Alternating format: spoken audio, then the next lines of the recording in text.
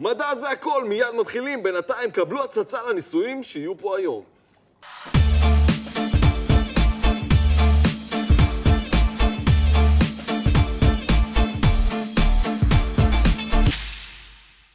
שימו לב, לקחתי רמקול ישן, קצת צבעים ומוזיקה טובה, שימו לב מה קורה, קבלו.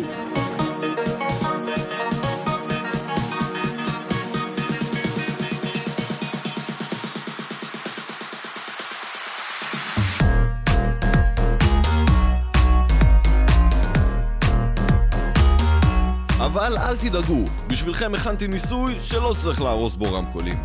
קדימה, פתיח!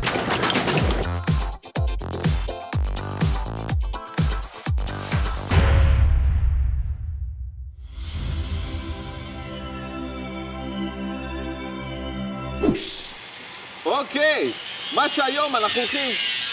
כמה רעש! וואו, וואו, וואו, וואו! כל היום אנחנו שומעים צלילים, אבל מתי פעם אחרונה ראיתם צלילים? היום אני אראה לכם כמה טריקים איך לראות צלילים ולעשות איתם עוד כמה דברים ממש ממש cool. אבל לפני הכל, מה זה בכלל גלי קול? נתחיל בזה שמהירות הקול היא 1234.8 קמ"ש. מהיר, מאוד מהיר.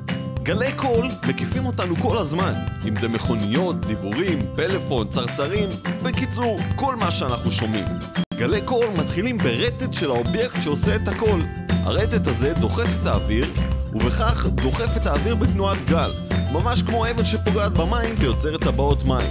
בגלל זה, אם תהיו בחלל ותצעקו הכי חזק שאתם יכולים, לא ישמעו כלום, כי אין שם אוויר או חומר שיעביר את גלי הקול. אבל בואו נחזור לנושא, לראות גלי קול. דבר ראשון, צריך משהו שעושה קול. מעולה. דבר שני, מגש אפייה. יש. ודבר שלישי, מים. Thank you very much. שימו לב, אנחנו עכשיו נמזוג את המים לתוך מגש האפייה, את מגש האפייה נניח על הרמקול, וברגע שנפעיל את המוזיקה, שימו לב מה קורה.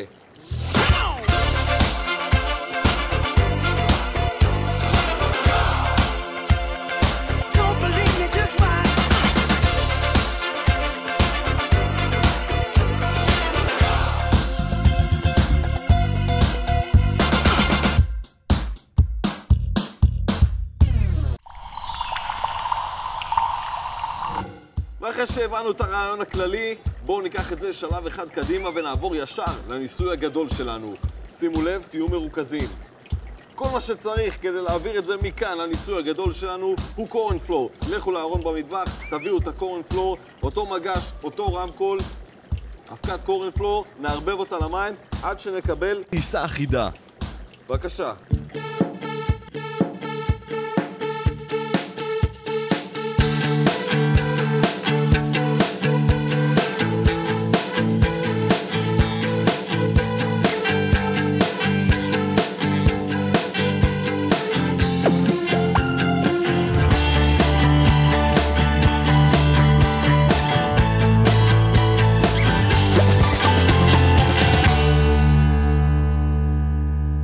אז ראינו סאונד, לכו תראו אותו עכשיו אצלכם בבית, תנסו בעצמכם, נתראה בניסוי הבא.